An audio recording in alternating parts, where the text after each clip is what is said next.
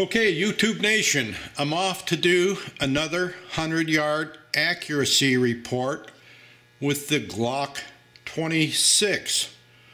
Who would think somebody would be crazy enough to take a 26 and shoot it at 100 yards? Well, I'm dedicating all my 100 yard videos to the guys on the Smith & Wesson forum. Uh, I think I mentioned in one of my other videos that one gentleman uh, on the Smith & Wesson forum, they're all complaining about their M&P pros not being able to hit 25 yard targets and this one gentleman must have liked his M&P pro because he made a statement that drove me crazy.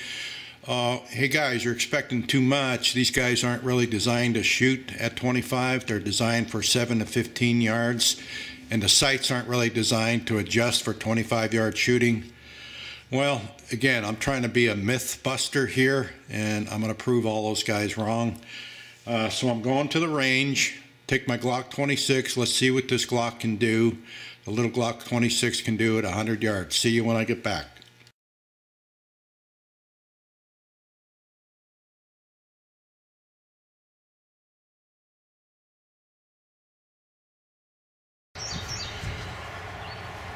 Okay, we got the Glock 26 at 100 yards. I'm curious what this little baby's going to do. I've never shot it at 100 yards before.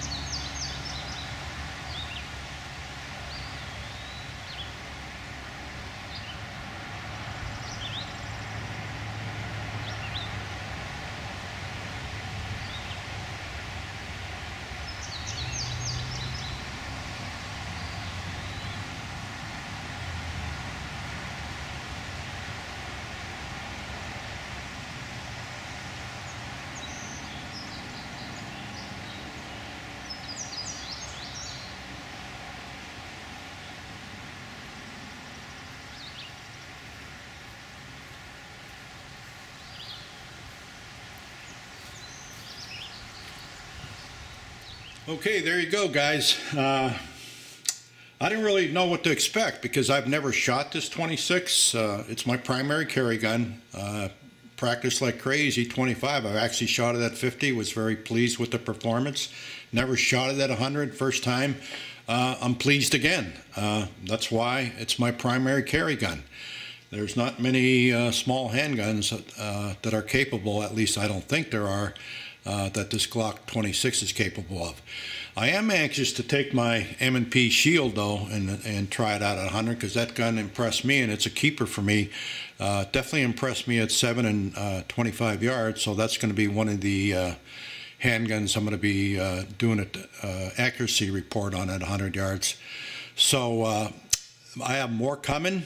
again, I'm dedicating this to the people who claim handguns are only good to 15 yards. So uh, I'll keep them coming uh, if you keep watching them. I'm out for now.